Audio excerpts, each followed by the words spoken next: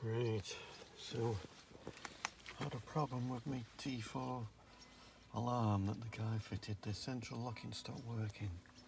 So I did get a right click kit, but I thought I needed some relays to make it work, to work the doors. So I did get half the doors working but then that packed up. Now I've just got another kit.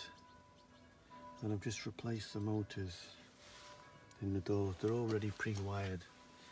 And I'm not touching this alarm because it works the immobilisation okay but all I want to do is lock my doors without using the key each time.